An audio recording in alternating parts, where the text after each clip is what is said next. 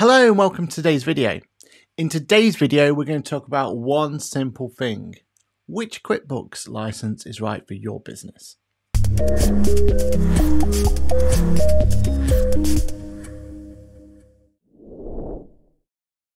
Hello and welcome to Boffix Tax Tips, the one-stop place for you to learn about everything to do with accounting, tax and a whole lot more. My name is Aaron Patrick. I'm a chartered accountant, certified UK trainer for Intuit, and also that QuickBooks Chap. Now, one of the questions our clients ask on a regular basis is which version of QuickBooks is right for their business. So, we're going to go through each version of QuickBooks and understand which one is right for which occasion. Every business is different, hence why there's different versions of QuickBooks for you to look at, and each one comes at a different price point. So, finding the right version is really, really important. Now, there are four versions to talk about, and here they are just here. But actually, even though there's four versions, there's only actually two products. Now, what I mean by that is the two products is QuickBooks Self-Employed and QuickBooks Online. Now, QuickBooks Online has been split into three different tiers, and depending on which functionality you need, depends on which tier you go on and which version of QuickBooks you're going to be utilizing. Self-employed, on the other hand, has one version for every type of situation. Now, they are two distinct products, so there's no way of jumping between one to the other. So, your biggest consideration is do I go with QuickBooks Self Employed or do I go with QuickBooks Online? When you choose between the two, it's really important you get that absolutely spot on. All four versions of QuickBooks give you the following. They both let you attach bank accounts, which basically means you can quickly add a bank account to QuickBooks. It means that information is directly shown into QuickBooks itself. Makes it really easy then to make sure data is getting into QuickBooks. They both let you snap receipts, which is a really quick and easy way for you to be able to quickly add things to QuickBooks. So have a receipt, take a photo of it, and it gets put into QuickBooks using technology called OCR, which means it reads that invoice or receipt for you and puts that information into QuickBooks nice and easily. They both let you send invoices directly from QuickBooks, have fancy ways of receiving payment. So you can use a big pay now button to get paid straight away, or use GoCardless as a direct debit solution that's really useful for small businesses. Overall, there's loads of ways in which you can find benefits from using QuickBooks. All of them have the most core functionality. So connecting a bank account, snapping receipts, recording mileage, having an app, sending invoices, all these things can be done in every. But then each version has its own differences as well. And that's what we're going to look at now. We're going to figure out what the differences are and see if that's right for you. Okay, first and so what I'm going to do now is I'm going to create a client from scratch. I'm going to go, and my first is QB self-employed. So for this client, I'm going to choose, choose the self-employed option at the very bottom. Okay, when I open up QuickBooks Self-Employed, different, First thing you'll notice, it's going to look very different to when we look at the main QuickBooks app. It still gives you a nice dashboard at the beginning, so it's going to tell you all the information you need to know of how your business is doing. It's going to prompt you to get the mobile app, and in fairness, the mobile app is where majority of the users of QuickBooks Self-Employed are using the software. And it's split really nice and simply in the left-hand corner. So in the left-hand corner, we've got transactions. This is where we can add our bank account. So we can add a number of different bank accounts, and then that's going to make sure the information flows straight in. If I choose a simple bank account like NatWest, the way it makes the connections really straightforward. It basically takes you to the NatWest screen and asks you to put that information in. Really straightforward. Once it's done though, it's then connected and that information is going to flow directly into QuickBooks. The next thing is it's got a mileage tracker. So that means you use your mobile phone to automatically track your mileage from to and from a particular area. And you don't have to physically tell it to record it. It's going to use GPS to look at those information for you. And then you're going to have a chance to go through, scroll through that information, and then you can dictate what's business and what's personal. One of the key main differences, though, is the ability to have your tax return filed directly in. Now, QuickBooks Self Employed gives you the opportunity to file your personal tax return through QuickBooks. Whereas QuickBooks Online, the full version, gives you the opportunity to file your VAT return. So each has the ability to file a return. It just depends on which taxes is most important to you. It makes it really simple to file a personal tax return in here though. Gives you the opportunity to go up and you can put some tax profile questions in. So maybe about what other income you may have, what your personal allowance might be, if there's any adjustments, and it keeps it really, really straightforward. Also, the rest of the information that's going to come through is directly from QuickBooks itself. So as you generate invoices, as you put information in, they're all going to come through here. You have the chance to run reports, so you can have a look at how your business is doing. There's not many reports on here, but there are enough reports for you to be able to really get to grips with what's going on. And finally, it gives you the opportunity to run invoices. So get paid really fast by actually creating the invoice while you're on the go. Perfect if you're doing things on the mobile phone.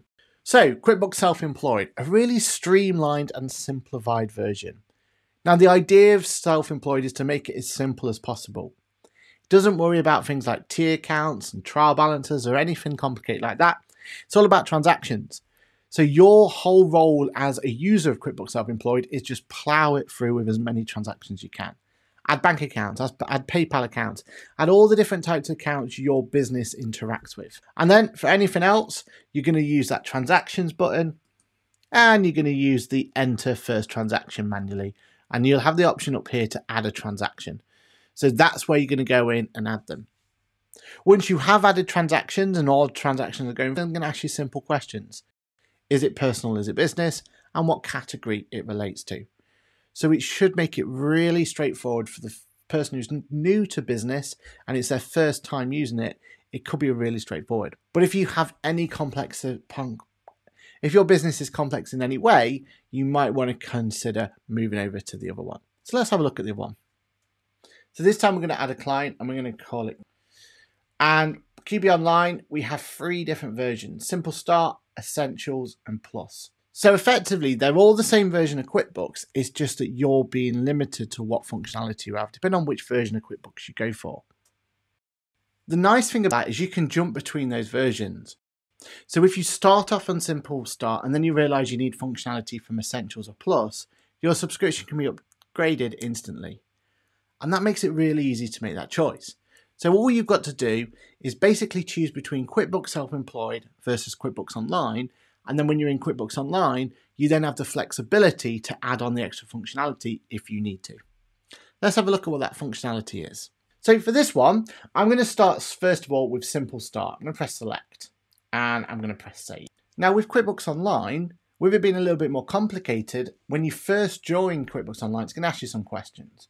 So what type of business do you have? So this is the type of business. Is it a limited company? Is it a sole trader? How long have you been in business for? What would you describe your business does? Then after that, it's going to ask you what type of business transactions you're going to deal with. You then get asked a quick tour, and then you're at the main page. Now, this main page here, again, looks quite similar to how QuickBooks Self-Employed looks like, but you do get more functionality here. It's trying to give you that little bit more data to play with, so it's trying to tell you more about your business and how your business is doing. And on the left hand panel, we have far more. Even though we're in Simple Start, we're on the lowest subscription model there is, and we're on the lowest version of QuickBooks there is in terms of QuickBooks Online, we still get a lot more options on the left hand side. To jump back to our dashboard. So, dashboard is what we can see here. Then we have transactions, and under transactions, you've got banking, you've got rules, you've got receipts. Receipts is where you're going to deal with those photos that you've taken. Banking is where you're going to add your banking directly to QuickBooks. But then they give you a whole section dedicated to expenses. So in here, you can have a look and see how your expenses are doing. And then you have an option to look at sales as well. Sales, it gives you the same idea as you have before, but one of the things that it promotes a lot more here is the ability to add apps. Now, apps is exclusive to QuickBooks Online, and it gives you the ability to add different functionality from third parties. So if you've got Shopify, if you've got eBay, if you've got an EPOS solution, whatever solution you're using outside of QuickBooks, there's a possibility that that can be added directly into QuickBooks and integrated perfectly.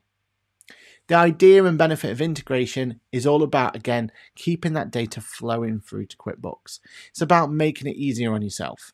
Imagine a world where you've, you've connected your bank account, you've connected your Shopify, you've connected your eBay, all your different types of income streams and expenditure places, and everything else are all covered then automatically.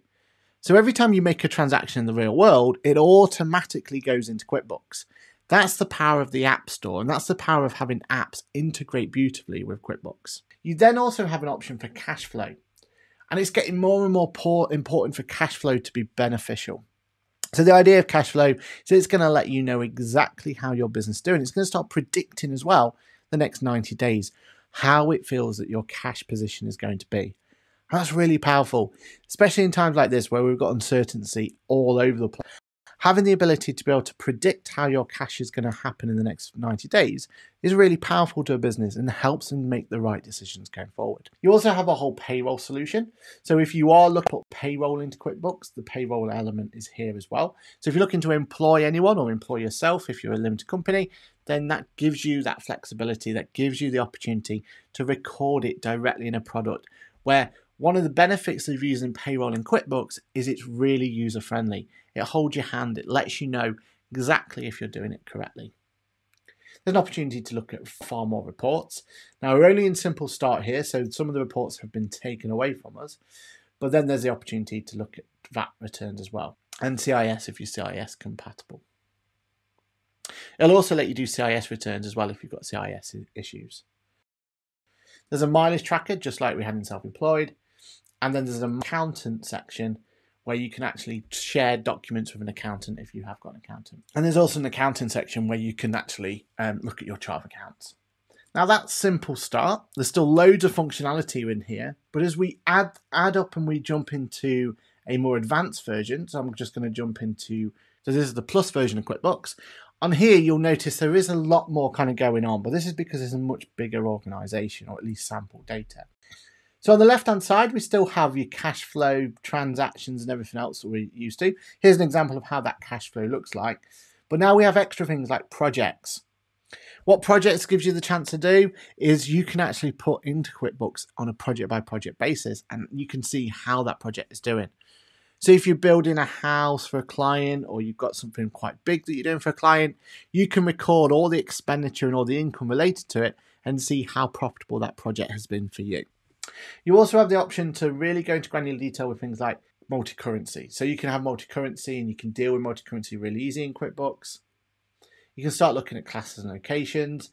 And if we jump into the reporting section, there's now a whole lot more reports here for you to utilize which really does gives you an opportunity to deep dive into seeing how your business is. So overall, there's loads of differences between all the different versions of QuickBooks. Now, my recommendation to you is to have a look at this chart, see what works for you, and figure out exactly what your business needs. Your biggest decision to make though is do you go with QuickBooks Self Employed or QuickBooks Online? Both of them have that mobile app, so you're not going to lose out on either of that. The biggest fundamental difference between the two is QuickBooks Self Employed lets you file a personal tax return, whereas QuickBooks Online lets you file a VAT return. And if you need to do either of those two, you're kind of going to have to go into each one. Now, if you do use QuickBooks Online and you're looking to file a tax return, over at Aaron Patrick, the QuickBooks Chap, is a video that I'll link here about how to move that information from QuickBooks Online to a tax return. So you're not going to limit yourself if you went for QuickBooks Online. But if you have any VAT whatsoever, you must, must, must go over to QuickBooks Online. With that being said, it's all then down to how big that business is. A substantial amount of transactions, then I would recommend you move over to QuickBooks Online for two reasons. First one is automation. So you can then start automating it with rules and everything much more efficiently in QuickBooks Online. So you can make sure that you're dealing with those massive amount of transactions really efficiently. Then you can think about maybe adding an app store on there and looking through the app store, maybe finding a way to connect whatever service that's generating those transactions directly in QuickBooks and just let it be fed directly into QuickBooks. Also, with transactions, you find that there's far less of a worry with your how your data is being looked after in QuickBooks Online. If you start throwing lots and lots and lots of data at QuickBooks Self-Employed, that's when you tend to find a few issues here and there. It's not designed to have massive amount of data being thrown at it. What it's designed for is keeping it really simple and straightforward. So you record your transactions, you record your income, you do a tax return, and that's what it's designed for. QuickBooks Online, though, is designed to have lots of data thrown at it, lots of complications thrown at it. So again, think about how complex your requirements are. How many transactions do you have? If you have, say, more than 100 transactions a month, I really would consider moving over to QuickBooks Online.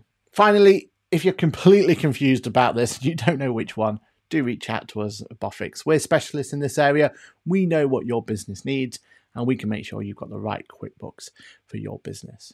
Furthermore, if you want to get a good deal on QuickBooks, again, talk to us. We're always running special offers. We always make sure that you get the right offer for the right version of QuickBooks for you as a business owner.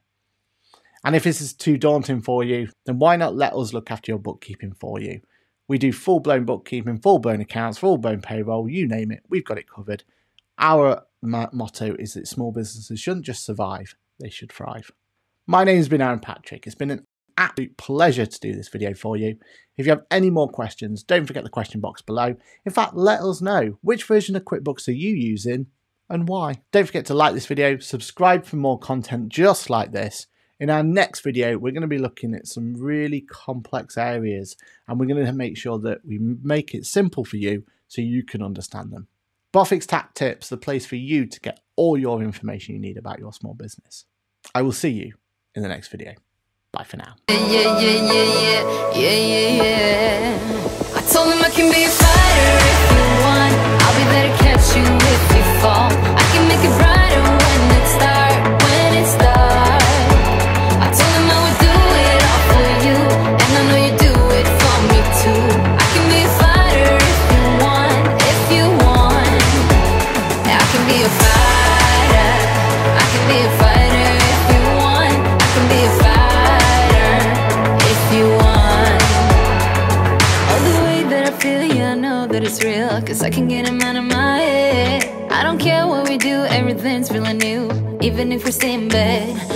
saying yeah, yeah, yeah, yeah, yeah. You know I want it, nah, nah, nah, nah, nah. My heart is saying yeah, yeah, yeah, yeah, yeah. Yeah, yeah, yeah